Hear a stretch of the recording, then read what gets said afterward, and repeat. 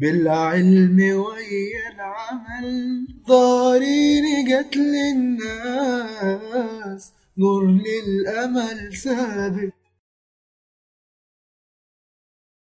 بسم الله الرحمن الرحيم. السلام عليكم ورحمة الله وبركاته أحبائي الكرام. أهلا ومرحبا بكم مجددا في ملتقى الدارين.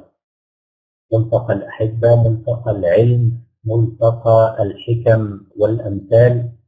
مع الحلقة رقم 112 دروس وعبر تربوية من الحكم والأمثال. أحبائي الكرام أرحب بكل من ينضم إلينا وأرحب بفريق العمل من الأكاديمية الفريق المتطوع الجميل الذي أعتز به دوما. كلما أضيف جديد إلى فريق العمل بأكون سعيد جدا ربنا يحفظكم وينفع بكم جميعا. حلقة البركة هي الحلقة المؤجلة من الأسبوع الماضي. أسأل الله سبحانه وتعالى أن يبارك لنا ولكم في أوقاتنا وفي أوقاتكم وفي أرزاقنا وأرزاقكم وأن ينفع بكم جميعا وأن يتقبل منا ومنكم صالح الأعمال. أيها الأحبة الكرام حتى لا نقع في دائرة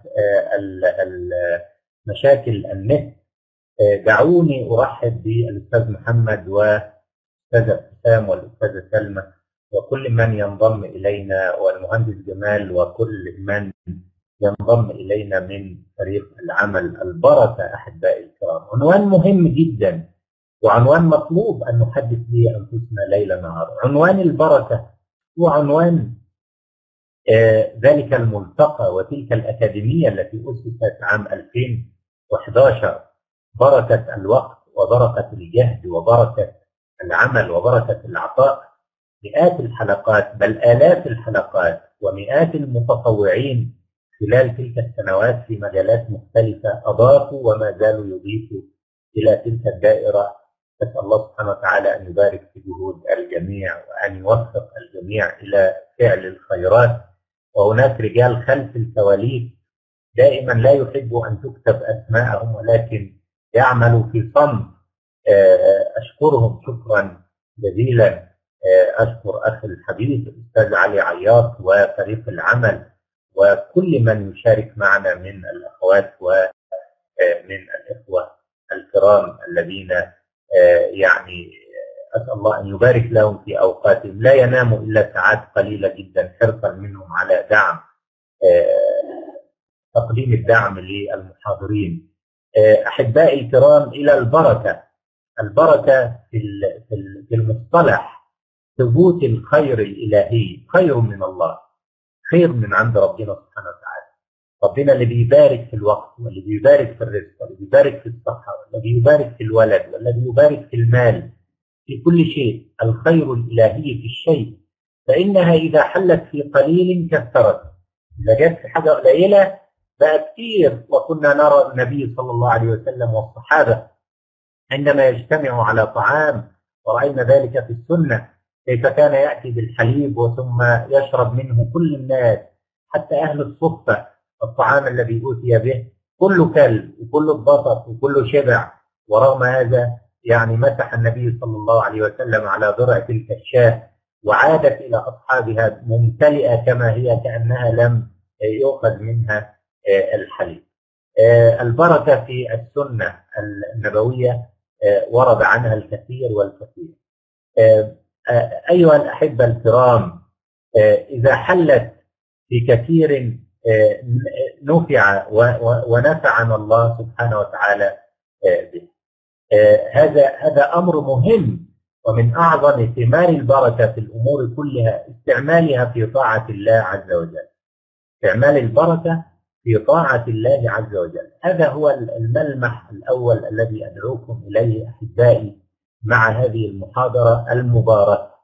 فالبركة مفهوم مهم.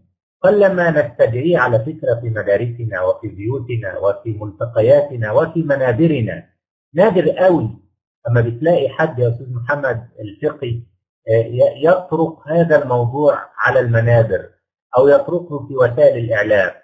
نشتكي من غلاء الأسعار نشتكي من تسلط الناس بعضهم على البعض نشتكي من غياب البركة في في في, في الشارع وفي وفي كل مكان والبركة في الوقت غابت وافتقدناها. لماذا؟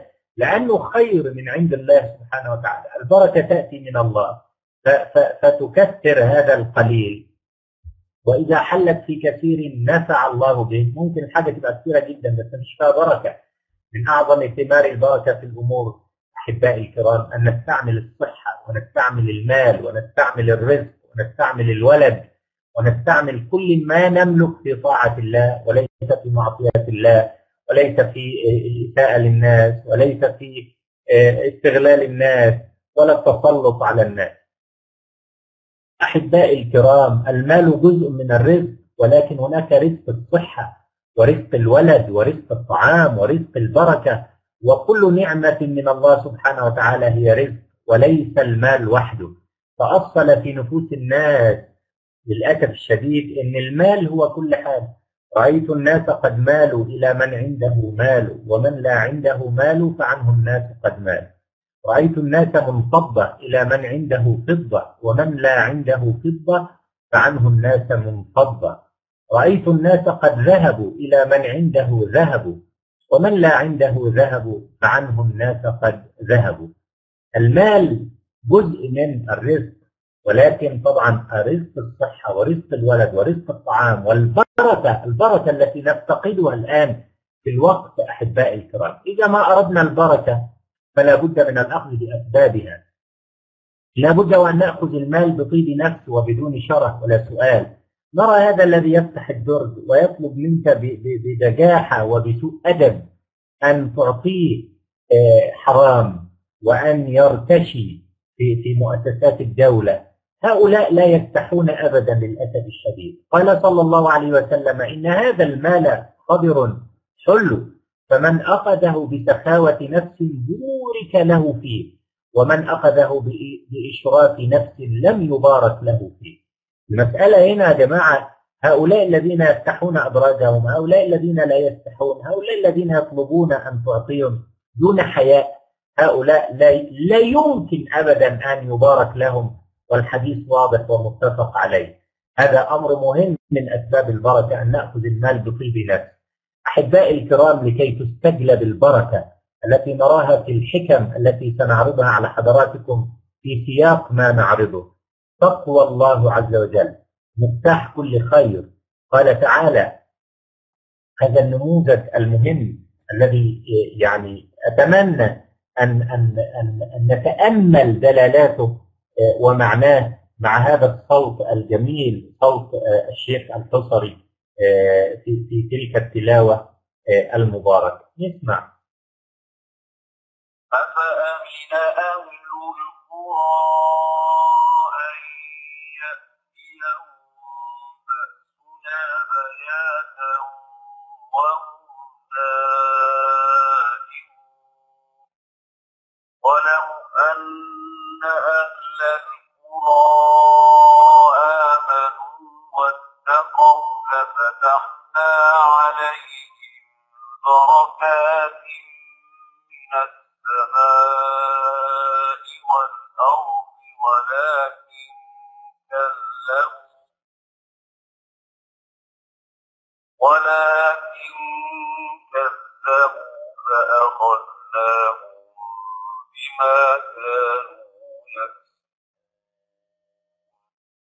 صدق الله العظيم.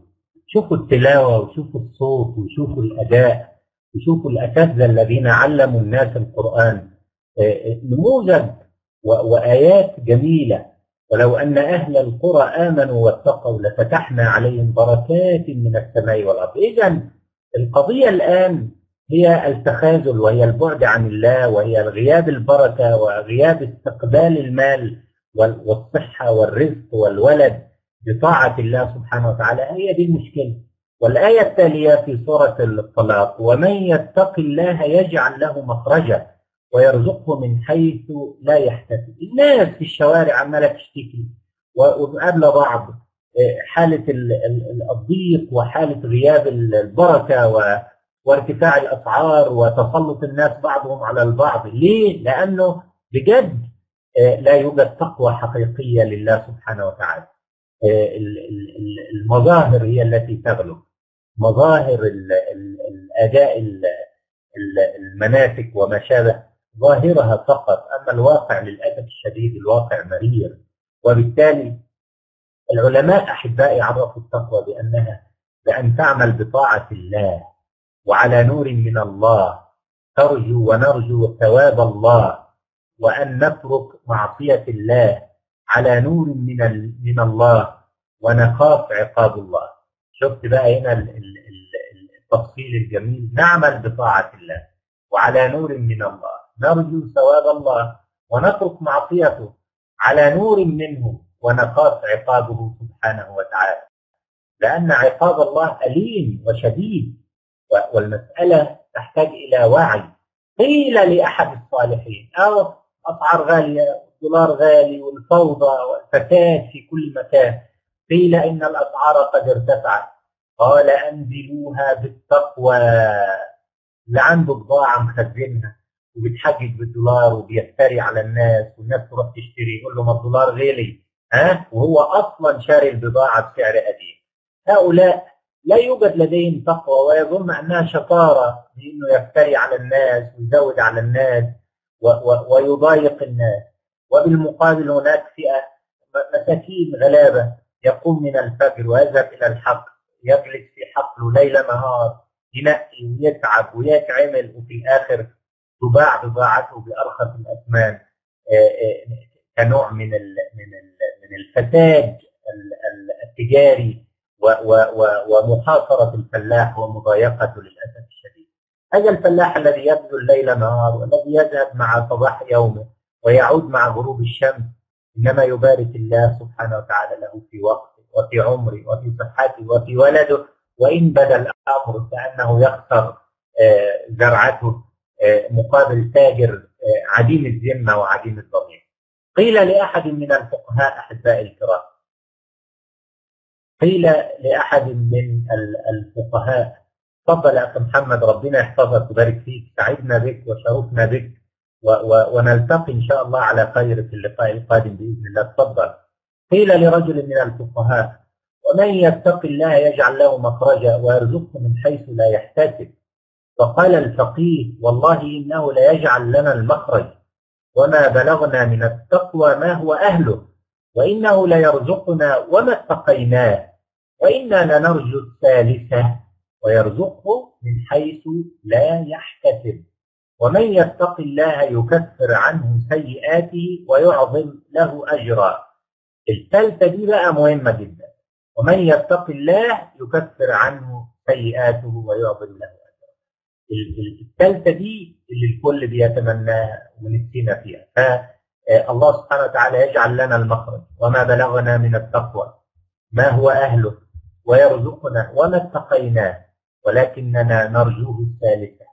عايزين ربنا سبحانه وتعالى آه، يكفر عنا سيئاتنا. وهذا هذا هذا مراد ومبتغى في البركة للأسف الشديد لا يعلم. ولا نعلمه ولا نتعلمه ولا يعرضه الدعاء على المنابر. الأمر الثاني بعد طاعة الله أحبائي الكرام يا سلمى قراءة القرآن. قراءة القرآن هذا كتاب الله. القرآن لا يقرأ إلا في رمضان? ويختم في رمضان مرة واثنين وثلاثة.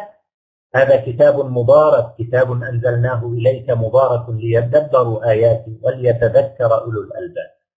الأعمال الصالحة مجلبة للخير والبركة والقرآن بركة وجزء من البركة أيضا أحبائي الكرام هو الإكثار من قراءة القرآن. كلما أكثرت من قراءة القرآن كلما حلت البركة. كلما أعطيت مساحة للورد أن تقرأ جزء واثنين وثلاثة كلما بارك الله سبحانه وتعالى لك في وقتك وهدفك الذي ترجوه. الأمر الثالث الدعاء. يبقى طاعة الله قراءة القرآن الدعاء. كان النبي صلى الله عليه وسلم يطلب البركة في أمور كثيرة. علمنا أن ندعو لمن يتزوج فنقول بارك الله لك وبارك عليك وجمع بينكما في خير. والدعاء لمن أطعمنا. اللهم بارك لهم فيما رزقتهم واغفر لهم وارحمهم. أدعية مأثورة. عدم الشح رابعا. ما تبقاش بخيل وما تبقاش مسرف في أخذ المال. قيل لحكيم بن حزام رضي الله عنه يا حكيم إن هذا المال خضرة حلوة فمن أخذه بسخاوة نفس بورك له فيه ومن أخذه بإشراف نفس لم يبارك له فيه. شوف الناس اللي مد أيديها في المؤسسات في المصالح يقول لك أعطيني عشان اخلص هؤلاء إن شاء الله الله عز وجل يعذبهم في الدنيا وفي الآخرة يعذبهم بالمال اللي بياخذوه ده. في, في غياب البركة وفي يسلط عليهم أبنائهم يسلط عليهم زوجاتهم يسلط عليهم أنفسهم. نمرة خمسه الصدق في المعاملة من بيع وشراء. البيعان بالخيار ما لم يتفرقا فإن صدقا وبينا بورك لهما في بيعهما. وإن كتما وكذبا محقت بركة ببيعهما بيعهما. البركة بتمحق. للأسف الشديد بنشوف في الشارع ناس واقفة تتفنن في آه، كونها تخسر هذا الميزان ويضحك على اللي بيشتري ويقول لك يلا ما هو هيشتري ويمشي بالعربية من قدامي. ونسي أن الله عز وجل مطلع عليه. ونسي أن الله نهى عن هذا الأمر. فالإسلام جميل وضع هذه ال- الأمور ال- الرائعة حتى يعم الخير في المجتمع. نمرة ستة أحبائي الكرام من الأمور التي تجلب البركة إنجاز الأعمال في أول النهار بورك لتلك الأمة في بكورها التماس الدعاء النبي صلى الله عليه وسلم دعا عليه الصلاة والسلام بالبركة في ذلك. قال اللهم بارك لأمتي في بكورها. ها؟ مش نصحى الظهر مش نصحى العصر مش ينام بالنهار ويصحى بالليل إلا بقى إذا كانت طبيعة مهنته إنه إنه إنه بيشتغل بالليل ده وضع تاني آه، زي المهندسين زي الأطباء في النبطشيات زي كده. إنما لو يسمح له بإنه يعمل يبقى في الإبكار بركه اتباع السنة في كل الأمور فإنها لا تأتي إلا بخير. والبركة تنزل وسط الطعام فكلوا من حافيته ولا تأكلوا من وسطه. شوف الأدب؟ أدب جميله قوي يا سلمى. أدب جميله قوي يا ابتسام في علمنا النبي صلى الله عليه وسلم اياها ولكن للأسف الشديد نتحدث نتكلم عن البرستيج نتكلم على فنون الإتيكيت نتكلم على الملعقة والسكينة. ونعلم الأطفال الفنون الغربية وننسى أن الفن الإسلامي واضح وبين البركة تنزل وسط الطعام فكلوا من حافيته ولا تاكلوا من وسطه. ولا تجعل يدك تطيش في الإناء. علم الطفل هذا الأمر حتى يكون نموذج جميل يعكس هذا الأمر. ثامنا حسن التوكل على الله عز وجل. ومن يتوكل على الله فهو حسبه.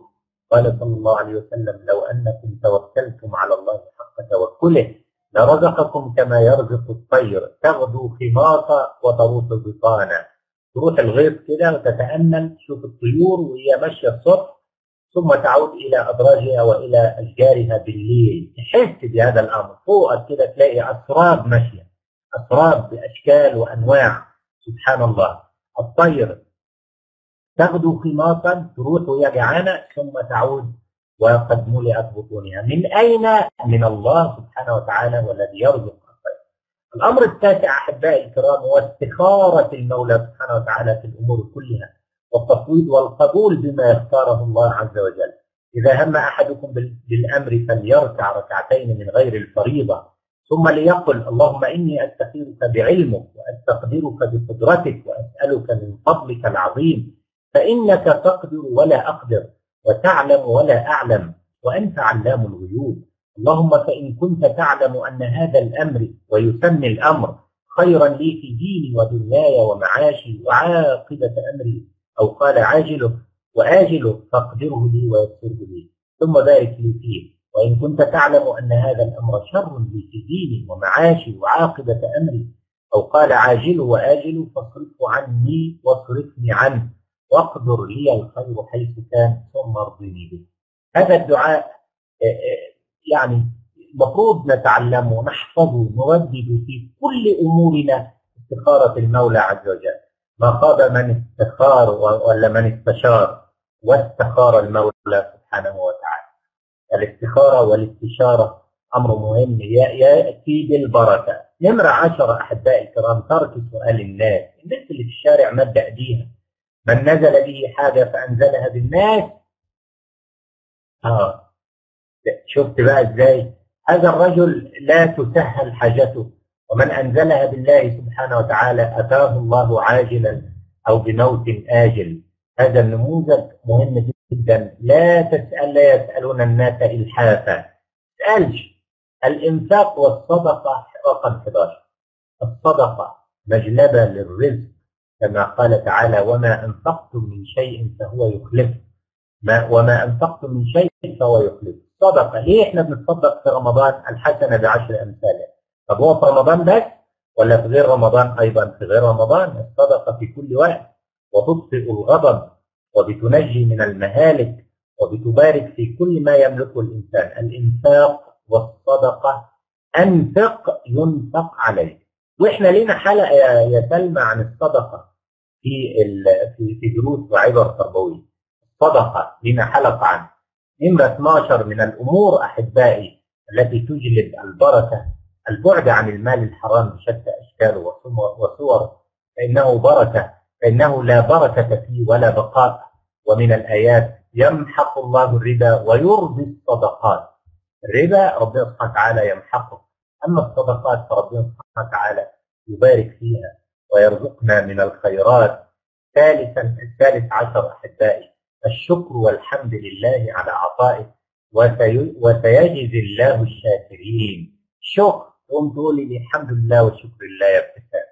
تقولي يا سلمى الحمد لله والشكر لله. لئن شكرتم لأزيدنكم ولئن كفرتم إن عذابي لشديد.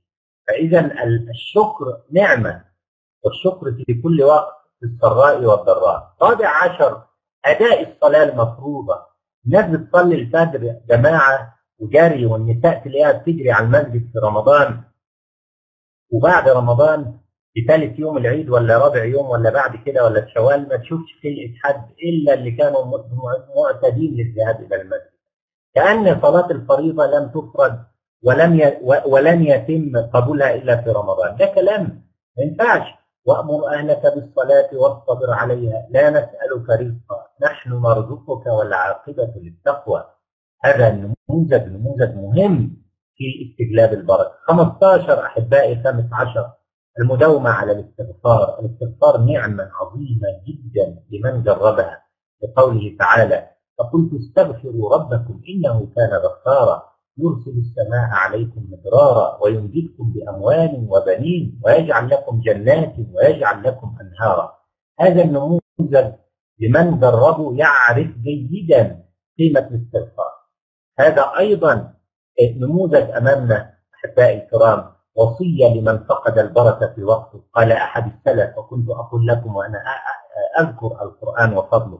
قال كلما زاد حزبي من القرآن زادت البركة في وقتي ولا زلت أزيد حتى بلغ حزبي عشرة أجزاء وقال إبراهيم بن عبد الواحد المقدسي موصيا الضياء المقدسي لما أراد الرحلة للعلم قال له أكثر يا ضياء من قراءة القرآن ولا تتركه فإنه يتيسر لك الذي تطلبه على قدر ما تقرأ. ما شايلة المصحف في رمضان؟ بتقرأ جزء واثنين وثلاثة وبتختم في ثلاث أيام أو أربع أيام وعشر أيام. بعد رمضان نسي المصحف ونسي الورد ونسي كل حاجة فغابت البركة. كان حاسس بالبركة في رمضان يا ابتسام كان يشعر ببركة اليوم وببركة الجلوس وببركة ال- ال- الذكر. ولكنه افتقد ذلك ليه عارفين افتقدناه لاننا نسينا القرآن وهجرنا القرآن. قال الضياء فرأيت ذلك وجربت كثيرا فكنت إذا قرأت كثيرا تيسر لي من سماع الحديث وكتابة الكثير وإذا لم أقرأ لم يتيسر لي. كلام واضح من الآخر كده نموذج واضح لا لبس فيه. الرزق أحبائي ونحن نختم تلك الحلقة بتلك الكلمات الرقيقة الرائعة. الرزق لا ينحصر في مال أو طعام. رزق الله واسع. قد يكون الرزق في أصدقاء طيبين في طمأنينة وراحة بال في نومة هنيئة وسقف يقيك الحاجة والذل. حتى لو نايم على الأرض ولكنك تشعر بمتعة النوم. في منظر يسر خاطرك ويغير مزاجك. في شخص يحبك ويتحمل أعطائك في كلمات جميلة تقرأها. الرزق قد يكون في حنان أم أو أب في كتف محب تبكي عليه في جلسة أخ أو أخت تزيح الهم في احترام من حولك في هدية تتلقاها من عزيز في قدرتك على خدمة نفسك في كل شيء لنا رزق من الله. اللهم ارزقنا رضاك فأنت خير الرازقين. اللهم آمين. اللهم آمين. الرزق أحبائي نوعان.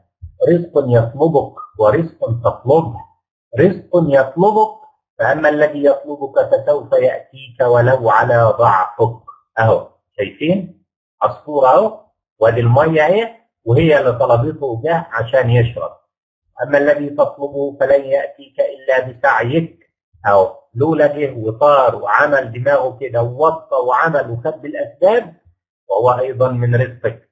فالأول فضل من الله والثاني عدل من الله كما قال الإمام علي رضي الله عنه وأرضاه.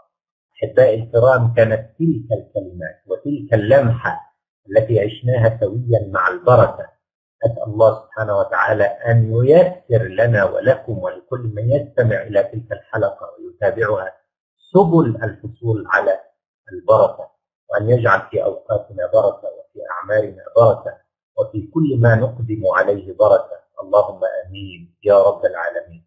شرفت بكم أحبائي الكرام. أتمنى إن شاء الله في اللقاءات القادمة أن تكون مساحة الحضور ومساحة المشاركة أكبر من خلال الدعوة ومن خلال دعاية الإخوة الذين يعني يكونون معنا دوما وأبدا. ولكني أشرف بكم أحبائي. أشرف بكل من كان معي اليوم في تلك الحلقة المباركة.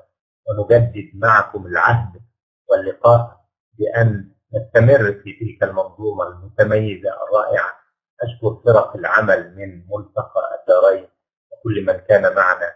اللهم إنا نسألك البركة في أرزاقنا وفي عيشنا وفي صحتنا وفي أحبائنا وكل من له حق علينا يا رب العالمين. بارك الله فيكم وبارك لكما وجمعنا وإياكم دائما على الخير. أبدا أبدا. اللهم آمين. وصل اللهم وسلم وبارك على سيدنا محمد عليه وعلى آله وصحبه وسلم. ألتقي بكم أحبائي على خير. في أمان الله.